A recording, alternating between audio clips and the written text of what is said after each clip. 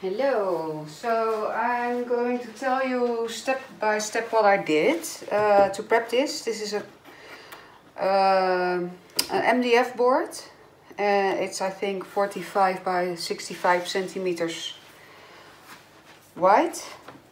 And first I put two layers of gesso uh, on it. Then I sanded it and then I put a layer of ground coat. Uh, that's uh, that's a coating that people use.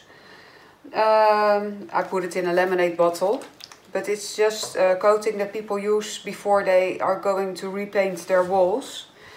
And I put that on there uh, because I'm going to put alcohol inks on there now, so it has a nice coat and the alcohol inks will flow hopefully good.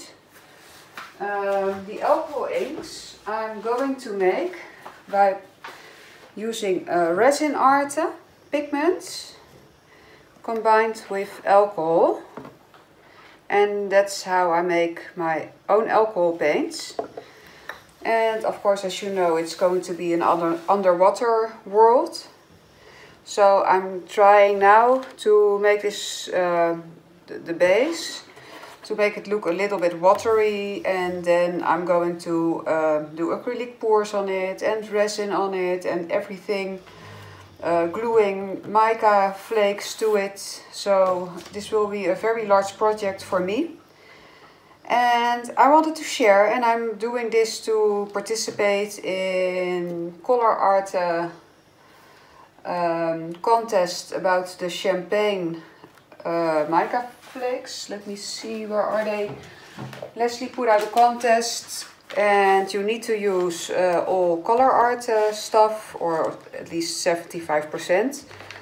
And you need to use Bling It, Champagne Pearl, Moonrock, Natural Mica Minerals. And I will. So, but first I'm going to start by making my own alcohol inks and I'm going to show you one. And after that I will uh, speed up everything because it will take way too long of course to uh, show you everything. But I wanted to show you how I make that alcohol ink. So I'm just going to use a scoop of that uh, Rezin Arte and this is wait a minute I have to close the bottle now This one is called Aquamarine. And then I will just add a little bit of alcohol. Not too much, just a little. And then stir it so it will resolve all the pigments. I will show you from up close.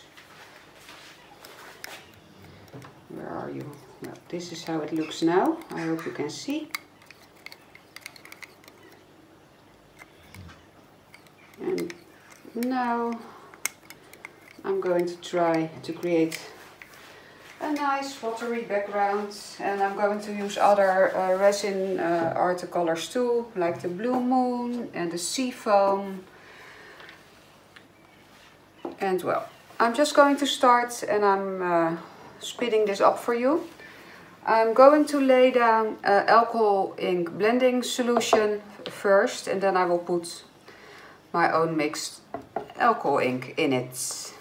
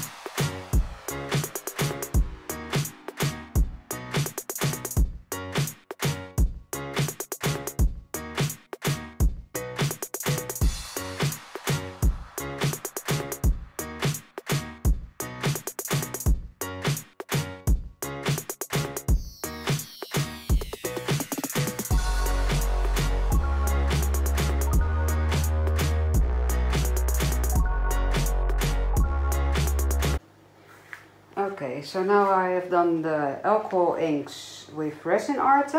I will show you a close-up so you can see how much this is blinging and shining.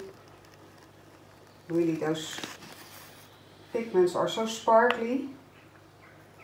They are just beautiful. I don't know if you saw that, but after I was done, I splashed drops of uh, blending solution on it. The bright colors on the sides I did because that's going to be like well, a reef barrier. But there's going to be many layers on this with resin, acrylic pouring, everything. But I thought I'd show you what the background looks like with the water. And I'll give you an overview and now I'm going to use uh, some glue on the bottom and to create uh, well a little bit like sand. And I'm going to do that with this. I hope you can see. And that is called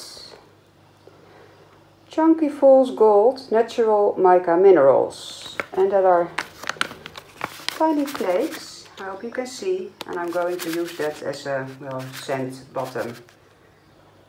Okay, I will uh, tape it, but I will fast forward it so you can see.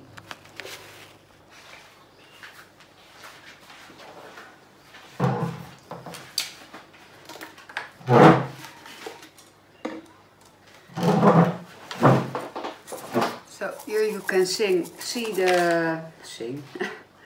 Bling It Chunky Fool's Gold, Natural Minerals. You see, very small flakes. And I'm just going to put on some deco glue. So I know that dries up clear. And put that on the board and then sprinkle uh, the mica on it. And after that is finished, I'm going to let it dry very good. And then I will uh, do a spray varnish on it with UV protection and after that's dry I will do my first layer of uh, clear resin. So I can go on on top.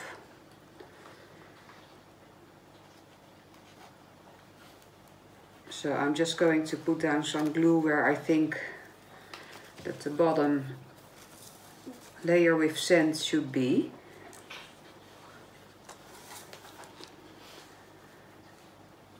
I'm just going to divide it and afterwards I'm going to tilt my board so the excess will uh, come off and I can catch that and reuse it.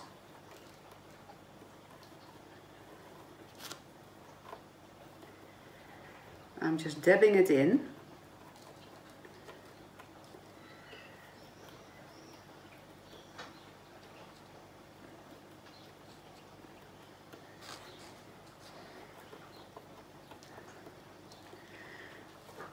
And after I have tilted the board I can see of course if I maybe missed some spots or anything.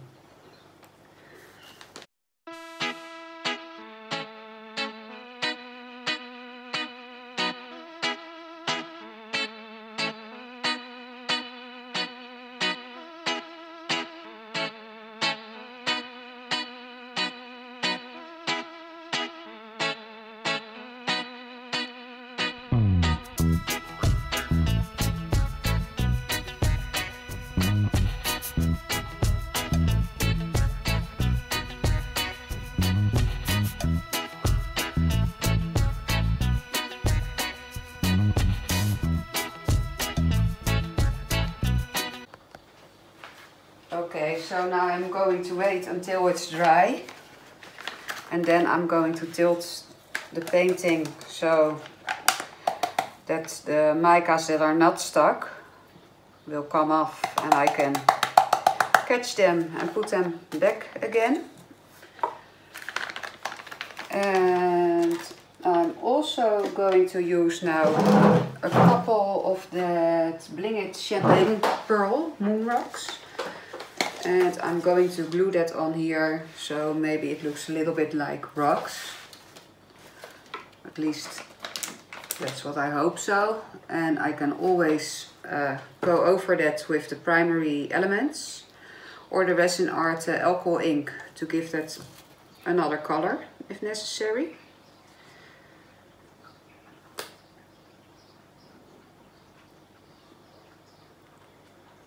And the champagne um, pearls, they're much bigger. And they come in a bag too. And they're all a little bit stuck to each other. So you need to get one flake and I already did that. And if you have one flake then you just have to put a knife in it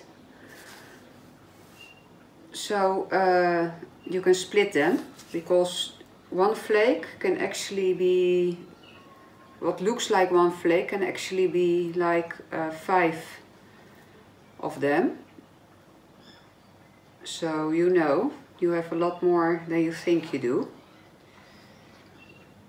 And I already well as you can see did a couple of them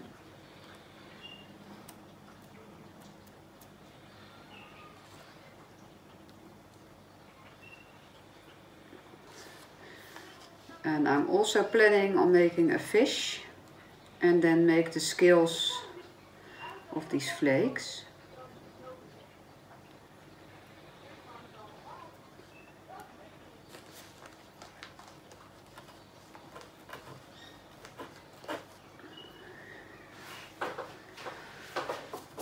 So we have a little bit of structure on our painting. I like that.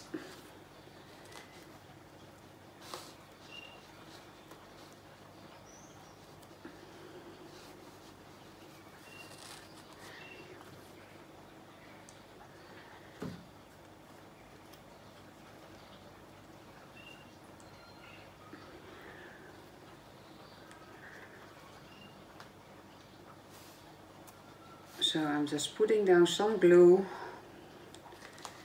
and then get that flakes and just glue it on.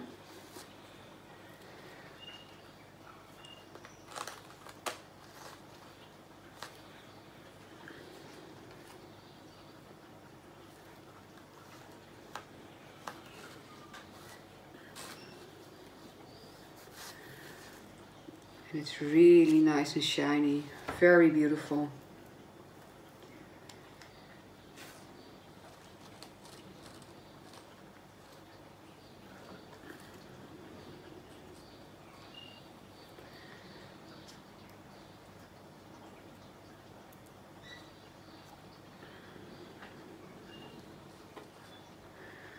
Dropped one here.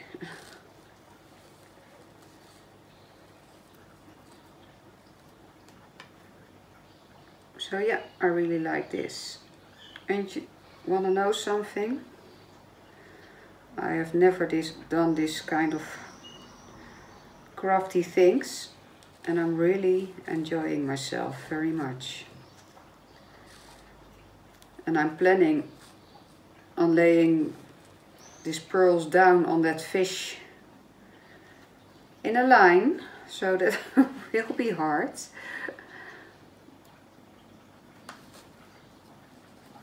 We'll see.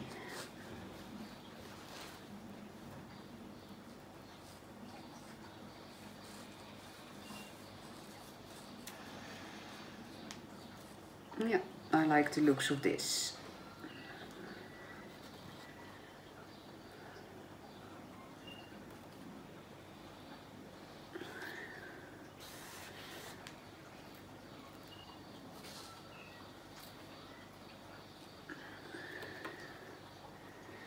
So who knows, maybe I will glue on more later. For now, I'm going to leave it just like this.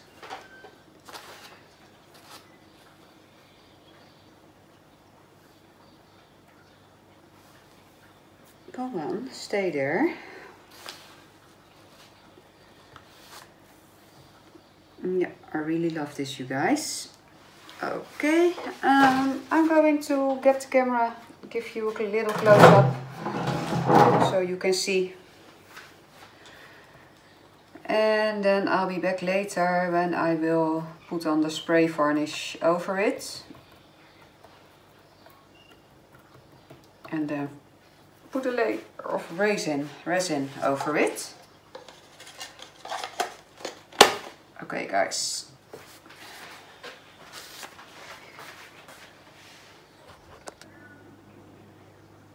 Okay, here we are.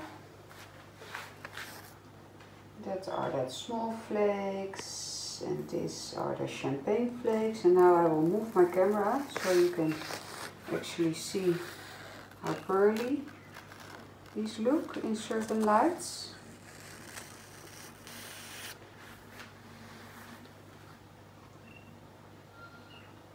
And the reason I do this before I lay down a layer of resin is that then I can do some plants and flowers, so I'm sorry, on top of uh, that. Yeah, I like it, but you know I like bling. Okay guys, see you later.